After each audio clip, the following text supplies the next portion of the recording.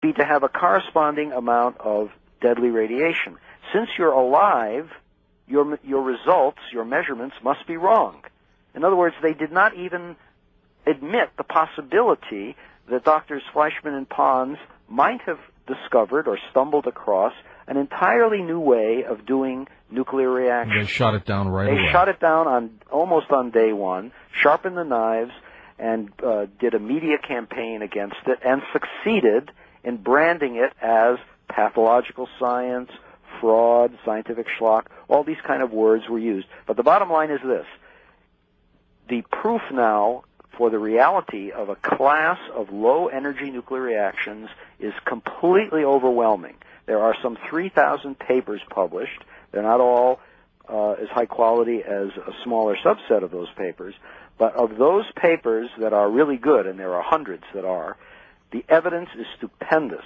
It would uh, any reasonable scientist taking an objective look at this monumental gathering of information, which we can discuss a little more, uh, would say yes, there's a whole class of low energy nuclear reactions that absolutely must be investigated, and we should certainly either put on low burner or terminate, probably terminate, the infamous hot, hot fusion program and Who- save some money. Who is beating us at this game outside of this country? Other uh, other nations? I'll tell you the nation that is the the two two nations that are most likely to succeed in this. Okay, uh, Japan and China.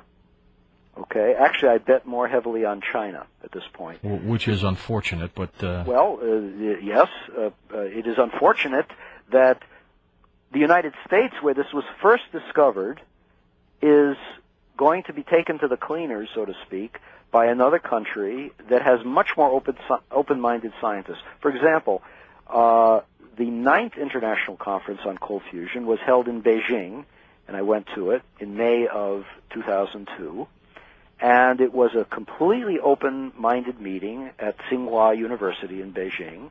Uh, scientists from around the world came, uh, from uh, Italy, uh, Russia, France, uh, Israel. Now, Israel, by the way, is a player in, in this. A very good, uh, strong private uh, company within Israel is is doing this work. I'm very happy to say that.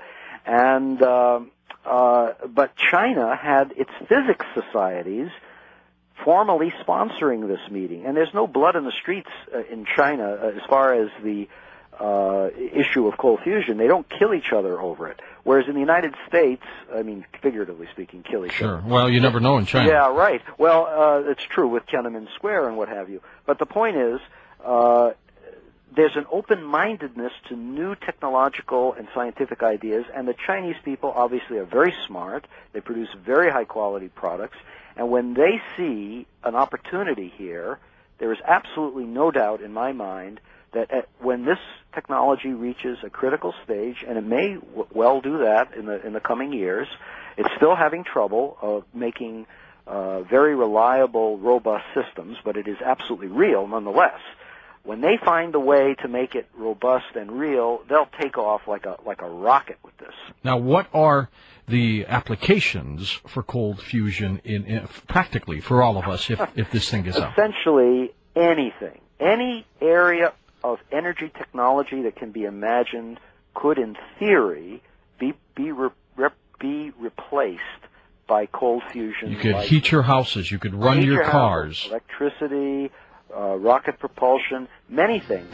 Here's the bottom line: in a, a gallon of water, this is an approximation because my viewpoint on this is that the cold fusion theorists, even the main mainline cold fusion theorists, don't really understand the process very well at all. In fact, I think they're going in, generally speaking, in the wrong direction. They're doing good work on experiments, but the theoretical foundations that they're doing are have some serious problems and is, is causing uh, the field to be retarded. But one gallon of water uh, has in it uh, one sixty seven hundredth of that water has molecules that contain the heavy hydrogen isotope du- called deuterium. Okay. Hydrogen with one extra neutron in its nucleus. All right. And when you fuse two deuterium nuclei together to make helium, I'm not saying that's how it happens at the surface of palladium, but or in palladium. But when that happens, you do get a, a certain amount of energy release that, in the case of, of this type of reaction, doesn't produce deadly gamma rays, but produces instead heat. All right? The amount of heat in one gallon of water, I'm talking ordinary water now Sure. from the ocean. I want to be real clear to your listeners. Just scoop Not it right water. up. Okay. Just the ordinary water from the ocean, the lake, the brook, the snow, anywhere from your local uh, From your tap. store. Okay. Okay. 300 gallons of gasoline equivalent. My oh my, and it's Keep that it's in mind. That number. Any if any, any listener today, three uh, your program, uh, remembers anything of what I'm saying, please remember that one number.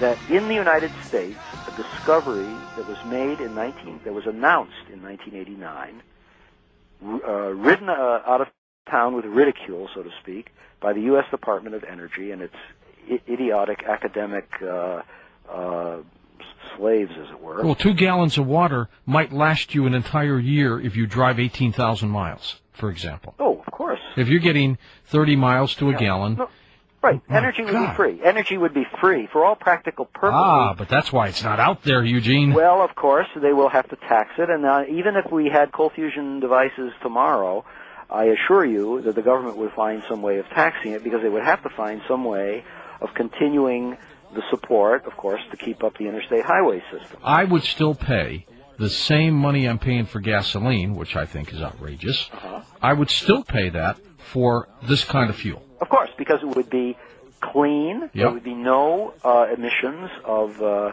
of uh, either uh, particles of soot or uh, nitrogen uh, oxides. And you or- wouldn't be dependent on anyone. That's correct. Saudi Arabia, Kuwait, uh, Iraq, any of 'em. They could uh, kiss our sweet, you know what. Uh, we could you know, we could say goodbye, folks. In fact, the thing that outrages me the most about this is that we could have many years ago, even when the, days when Saddam was in power, okay, um, and a horrible dictator and a, and a complete um, megalomaniac he was, and I'm glad he's gone. Okay, but the but the point of the matter is, we could have the United States government could have begun to quietly tell Saudi Arabia, Iraq, all these countries that are have us by the uh, soft spots. Uh, in a few more years, not too many more, we will have this problem solved, and we're not going to be dependent on you at all.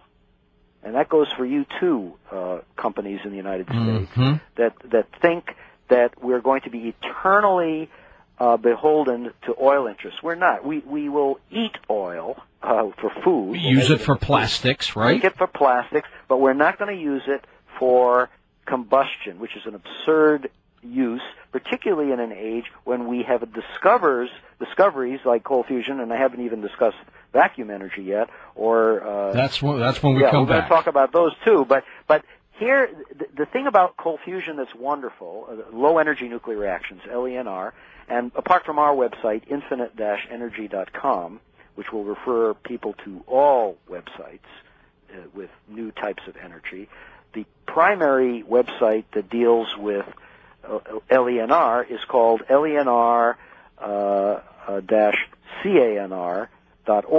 And if you go to that website, you'll have numerous PDF file technical reports, original reports, just like on our website, but they have a primary focus on on cold fusion, LENR. The technical papers that scientists and engineers can eat up and show, see for themselves the reality of this emerging field. And that's the paradigm. One case, okay, of new energy, radically new energy, as we call it, uh, unconventional energy, not standard alternative energy. That's the one case that is overwhelmingly documented across a huge variety of publications, countries, and what have you. And it's a disgrace, an absolute disgrace, that in our country, the U.S. Department of Energy will not review, relook at uh, the original disaster that they perpetrated with their negative report.